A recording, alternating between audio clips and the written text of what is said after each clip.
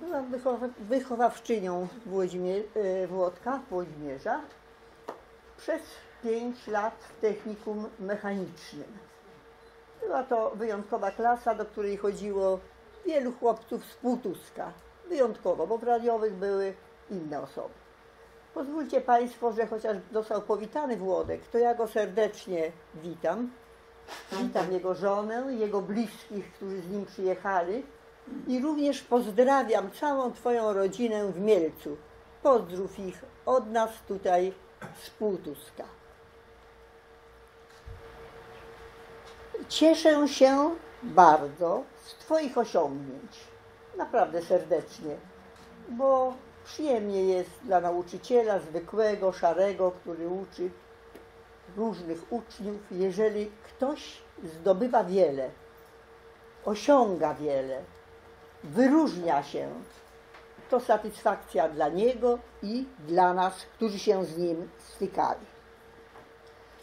Masz dwie ojczyzny dla mnie. Jedna ojczyzna twoje, Twoich lat dziecięcych i młodzieńczych to Półtusk, a drugą Twoją ojczyzną obecną, gdzie masz rodzinę, dzieci, wnuki, przyjaciół, znajomych, to Mielec.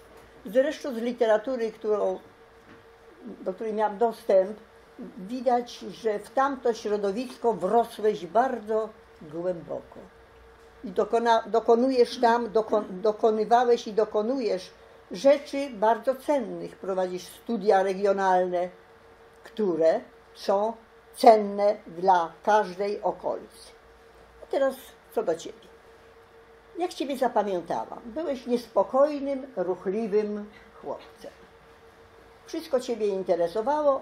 Uważam, że nauka była gdzieś tam e, w pewnej odległości. Zmieniałeś poglądy, szukałeś celu, miałeś przyjaźnie i to przyjaźnie często e, z innych szkół, o czym zresztą wspominasz w swojej książce o, o Mareczku Piotrowskim. Była to przyjaźń, która powstała, która miała wpływ ogromny na ciebie, bo jako wychowa- wychowawczy, wychowawczyni wiem. I wydaje mi się, że y, Marek Piotrowski właśnie w jakiś sposób ciebie kształtował. Ty, Włodku, według mnie, tak jak pani profesor mówiła, e, takie geny miałeś ojca. Ojciec też był niespokojny, wszystko chciał poznać. Uczył rosyjskiego, studiował biologię, e, wybrał dziedzinę antropologii, badał, prawda, tu po wsiach, typy ludzkie, opisywał, wędkował, rzeźbił, lubił śpiewać, lubił tańczyć, po prostu kochał życie. Mam nadzieję, że ty również życie kochasz, bo taki był twój ojciec. A teraz na temat książki. Przeczytałam. Odnalazłam w niej część i swojej młodości, chociaż między mną a Włodzimierzem jest 21 lat różnicy. Z tym, że moja młodość w Półtusku, bo dzieciństwo to przed wojną jeszcze było, e, przed 1939 rokiem, e, była inna. Były w Półtusku ruiny więcej, aniżeli ty widziałeś. I była bieda, ogromna bieda, ale ta bieda nas łączyła, scalała, tak zresztą jak i was później. Bo z książki wynika, że te przyjaźnie były, a jakieś tam specjalne różnice nie wynikały. Takie, takie rażące, które by bolały człowieka. Pamiętam również miejsca, cukiernię pana Kaczuka, pyszne ciastka i bardzo smaczne lody przy, przy ulicy Świętojańskiej. Pamiętam, tak jak ty opisywałeś cudownie wszystkie piekarnie. Pamiętam domy, w których mieszkałeś, w którym mieszkała babcia i administrowała w kamienicy pana Lipińskiego przy ulicy y, Wojska Polskiego. Pamiętam również ostatnie mieszkanie państwa, gdzie odwiedzaliśmy panią Lilę Mamę. A blok zielony, to nie wiem dlaczego, nie umiem tego wytłumaczyć. Był jakimś symbolem tego miasta. Wszyscy mówili, bo to był duży budynek, jest zresztą dużym budynkiem. Wszyscy mówili, on mieszka w zielonym bloku. Pan doktor mieszka w zielonym bloku. E, I to, to był jakiś taki ośrodek, punkt w tym mieście, e, który był odnośnikiem do bardzo wielu spraw. Chciałem, chciałam Ci podziękować serdecznie, że wprowadziłeś do swoich wspomnień doktora Barwickiego, Mieczysława, i doktora Omelianowicza. To byli prawdziwi lekarze. Ludzie, którzy swoim przykładem i stosunkiem do pacjentów jakby objaśniali, na czym polega człowieczeństwo i na czym polega służba lekarza drugiemu człowiekowi, który tej pomocy lekarskiej potrzebuje. I za to naprawdę Ci dziękuję, bo te nazwiska zostaną utrwalone, a naprawdę są warte tego. Kino też odegrało w moim życiu wielką rolę. E, Dokonało się to może pod wpływem pani profesor Skowrońskiej, która miała WF w wielu szkołach, e, potem Wróblowa się nazywała, kłaniam się nisko. I ona chodziła do kina sama, bo myśmy to raczej chodzili w grupie koleżeńskiej. E, I mówiła, że kino jest dla niej miejscem, gdzie zapada się w ciemność, w świat, łączy się z ekranem, z, z obrazem, ze słowem, które jest lepsze od tego, co ją otacza. Wstęp do kina przez długie lata miałam też bezpłatny, ponieważ mamusia mojej koleżanki była bileterką. Była to pani Regulska, jeżeli jeszcze była wtedy, kiedy e, e, ty chodziłeś. Babcia, babcia to była, babcia to była, pamiętam babcię doskonale. Teraz, moi mili, tak. Ja i dzisiaj lubię do kina chodzić. I mobilizuję, prawda, emerytki w moim zbliżonym wieku, bo tak w moim wieku to już nie ma, e, że pójdziemy na jakiś ciekawszy film. Z tym, że tych filmów jest niewiele dobrych, to trzeba powiedzieć.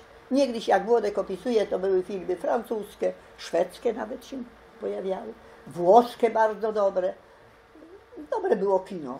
I nic dziwnego, że Włodek takim kinomanem został i że ten element kina w tej książce się bardzo pięknie przewija. Teraz forma książki. Ona mnie zaskoczyła, bo są to tak, części, poprzez które rozmawia autor z odbiorcami, na Facebooku to się tak nazywa, prawda?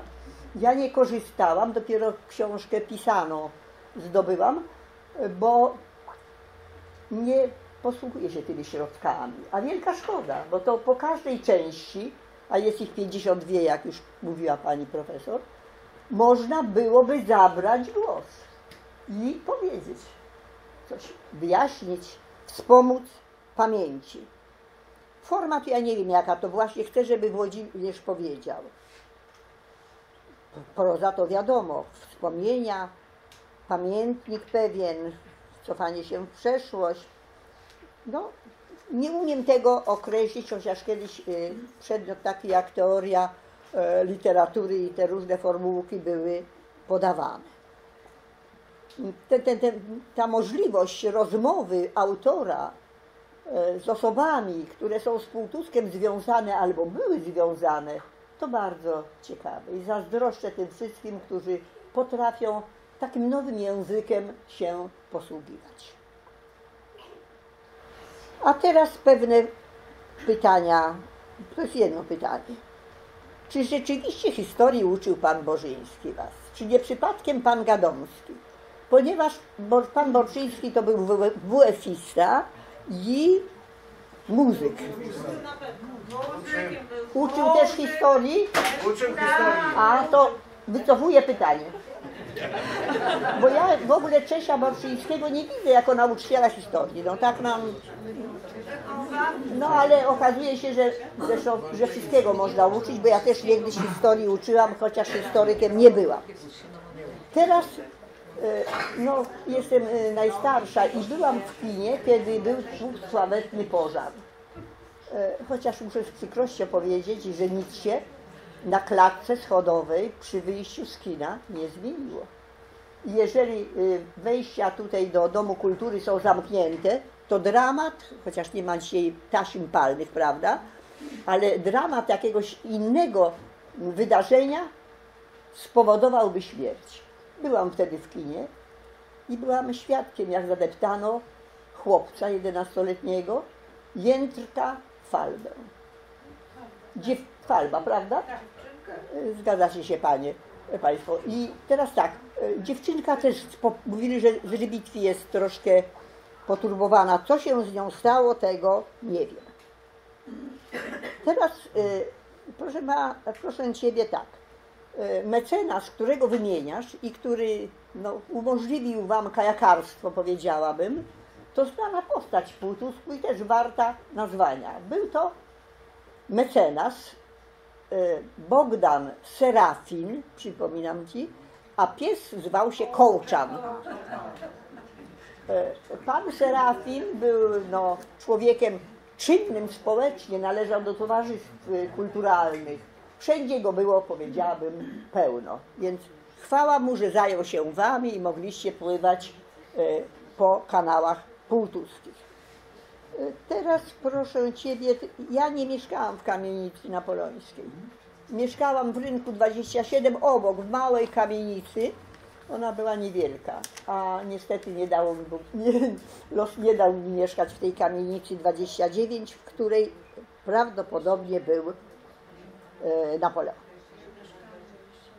E, Jak, ja dołączam się do głosu koleżanki Wróblowej, która powiedziała, że tak pięknie, uczuciowo, ciepło, wzruszająco dla mnie osobiście piszesz o babci Ogrodowczykowej. I y, te twoje słowa, które brzmią, że babcia, bileterka wpuszczała widzów do krainy snów i marzeń, i to jest prawda. Kto z Państwa chodzi do kina po to, żeby mieć przeżycia głębokie, to właśnie wkracza tam do tego świata zupełnie innego. On jest pozorny, on nie jest prawdziwy, ale jest bardzo ciepły, bardzo miły i bardzo wyzwalający różne uczucia i różne myśli człowiecze. Dlatego cieszę się, że to kino jest jednym z motywów e, e, Twoich rozważań, Twoich wspomnień. No, nie będę teraz. e, Chciałabym fragmenty wierszyków zacytować Włodka, pisanych w 70 latach, ale fragmenty, nie będę Państwa nudziła. Był wtedy młodym człowiekiem, z bardzo. czasów, kiedy pani profesorka mnie uczyła. No. Oj, chyba e, byłeś wtedy 70. 74? Nie, trzecie. A, wcześniej. Ja wiedziałam, że już byłeś albo w Zegrzu, ale tu nie byłeś w Zegrzu. To są wiersze, które już zapowiadały Włodka, powiedziałabym. To jeszcze nie był ten dzisiejszy Włodek, ale ten talent i ta inność od poezji na przykład Maryli, która była uczuciowa, sentymentalna, taka dla dziewczynek kochających się i kochanych, jest inna. Tytuł filmu, tytuł wiersza, przepraszam. Pejzaż morski. Napisał go pod Jantar Gdańsk 74 rok. A wiersz, a tomik nosi tytuł Ark Eko. To też jest warte rozważania. Potem nam wyjaśnisz, co to jest. Ja pomyślałam, że to jest sztuka ekologiczna, tak? Dobrze? Nigdy takich kierunków za mojej pamięci nie było. Nie wiem, czy Państwo o sztuce ekologicznej uczyliście się. A tutaj dużo jest wierszy w tym nurcie, tak. Po przeczytaniu wszystkiego zorientowałam się, że jest to jakiś nowy nurt. Są te nurty, których człowiek starszy nie jest zdolny już ogarnąć. Więc z tego tomiku. Pejzaż morski. Może źle przeczytam, ale ci ja przeczytam, a nie ty będziesz recytował. Tak urzeka mnie dzisiaj pejzaż morski. Siny, łaszące się fale, liżące mi stopy. I horyzont zasnuty mgłami, i zachód słońca złoty. I myśl się kołysze, i wzrok rozbiegany. I słyszę, i słyszę gdzieś daleko w morzu huczące bałwany. O, taki wierszyk e, bardzo przyjemny, oddający uczucia związane z obserwowaniem. Może, o nie, nie, ja nie komentuję, przepraszam. Teraz proszę Państwa, fragmencik będzie tylko. Poezja. Jak szanowny tutaj autor e, e, rozumie poezję dzisiaj, czy rozumie, czy patrzy, czy widzi, czy czuje, tego nie wiem. To powie. Poezja. Poezjo piękna i żarliwa, ile z Ciebie zostało tych czasach, jak Twej poczytności spadła stroma krzywa i jak już nie rozbrzmiewasz po polach i lasach. To jest fragment, ale wiele mówiący. Co się dzieje z poezją, jak się ona zmienia. I wiersz, który taki troszkę jest aktualny, chociaż tu nie mam daty chyba w tego wiersza. E, Kadeceusze. Fragmencik tylko pierwszy, bardzo aktualny. Tak mało dziś błaznów zostało. Tak wiele jest masek po nich. I mnóstwo, mnóstwo głupoty. I wiele, wiele niesnasek. Dziękuję za wysłuchanie i już kończę ostatnie słowo. Przepraszam, że tak długo zabrałam Państwu tutaj czasu. Co ja tu napisałam na końcu? Poczekaj, bo tu na innej stronicy. Tak. E, Chcę Ci podziękować za wszystko. Za to, że z uporem zdobywałeś wiedzę, że jesteś doktorem w zakresie nauk humanistycznych, że zajmujesz się tyloma dziedzinami, które wymieniała Pani profesor. Gratuluję Ci i całej rodzinie, i właśnie żonie również, która... Córka, córka. To córka? To jest y, cór- córka. A a żony nie ma.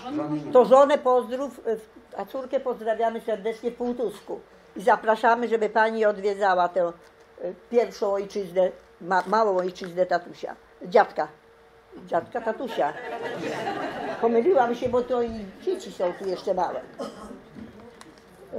proszę Ciebie tak, więc powtórzę jeszcze, bo to całość stanowi. Dziękuję, gratuluję, życzę zdrowia i sił żebyś mógł dalej pracować tak interesująco jak do tej pory. Dziękuję bardzo. Dziękuję Ci. Ściskam dłoń.